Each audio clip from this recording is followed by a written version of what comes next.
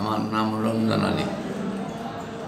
বাড়ি জেলা অনুসন্ধি থানা অনুসন্ধি তো আমি ফিজি ডাক্তার, ফিজি ডাক্তারের কাছে ফিজিতে গেলাম।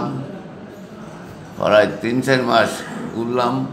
ফিজির বড় বড় ডাক্তার যা আছে সব দেখল। তারা বলল যে এটা অপারেশন চলতো না। তো আমার তিন মাস, সাড়ে তিন মাস পরে আমার একটা কাগজ দিয়ে কয়, আমরা মহাকালী বা অন্য কোনো তখন আমি এখান আইয়া মহাকালী আইসা দশ টাকা টিকিট কেটে তারেক স্যারের কাছে আইলাম। তারেক স্যারে বলল যে, আপনার এটা এই অবরণ চলবো, আমি একটা পরীক্ষা দেবো।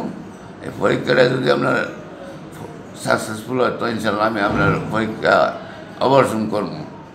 তো এই তারেক স্যারের পরামর্শে আমি এই দুরাগ্গায়া তো পরীক্ষা করলাম, করার পরে তারেক স্যারে বলল যে, যান অপারেশন চলবো।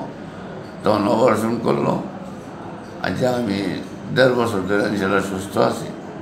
তারেক স্যারের এই অবদান আল্লাহ রহমতে আমি অনেক ভালো আছি।